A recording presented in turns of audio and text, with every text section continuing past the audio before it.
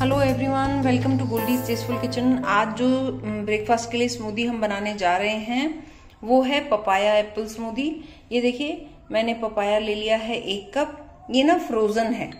जो मैंने फ्रिज में काट के रखा था, वो पपाया है. एक एप्पल को हमने चॉप कर लिया है, दो टेबल स्पून कर्ड है, दही है, और आधा कप हमने आलमंड मिल्क लिया है. ओट्स हैं वन फोर्थ कप इनको मैंने ड्राई रोस्ट कर लिया है. वन टीस्पून लेमन है, हाफ़ लेमन का जूस है, वन टेबल स्पून हनी है, वन फोर्थ टीस्पून काला नमक है और वन फोर्थ टीस्पून ही इसमें दालचीनी पाउडर है। छह पुदीने के पत्ते हैं, ये हनी मैंने यूज़ किया है, ऑर्गेनिक हनी। आप चाहें तो डेट्स भी डाल सकते हैं। एक टेबल स्पून चिया सीड्स को मैंने 10 मिनट पहले पानी में भिगो दिया है। और मैं दिखाऊँ आपको, मैं ऐसे फ्रोज, फ्रीज करके रख लेती हूँ फ्रूट्स। अगर कभी भी ऐसे स्मूदी बनानी हो, वैसे तो जो भी फ्रेश फ्रूट्स होते हैं, उनका मुकाबला नहीं है। बट एक दिन में ऐसे कुछ नहीं होता और स्मूदी भी आपकी क्रीमी बनती है। आइए स्टार्ट करते हैं। और ये छोटा सा अदरक का टुकड़ा है। बहुत ही छोटा सा ये डालेंगे। सबसे पहले हम जार में लिक्विड डालेंगे, दूध डाल देंगे। अब इसके बाद हम दही डालेंगे।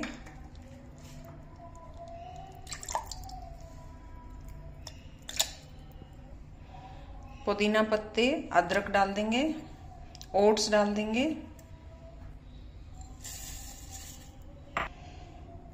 नींबू का रस डाल देंगे।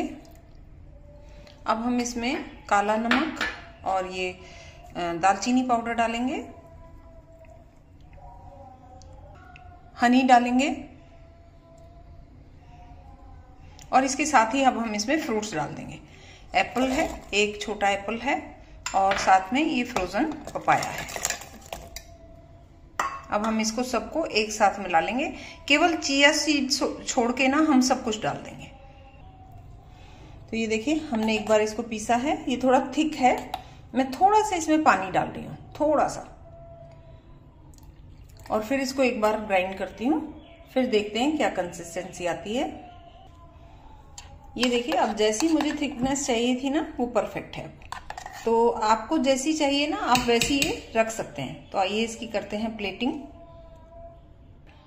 ये लिया है हमने ग्लास इसमें सबसे नीचे हम डालेंगे थोड़े चिया सीड्स देखिए, ये सोक कर लिए हमने। तो कुछ हम नीचे डालेंगे ग्लास में, ताकि वो देखने में सुंदर लगे। और कुछ हम ऊपर से गार्निश करेंगे। अब हम इसमें डालते हैं ये स्मूदी देखिए, कितनी बढ़िया ये स्मूदी है। तो आप ज़रूर ट्राई कीजिएगा, ज़रूर बताइएगा कि आपकी स्मूदी कैसी बनी। हम इसको ऊपर तक भर लेते हैं। और देखिए, लग रही है ना बढ़िया?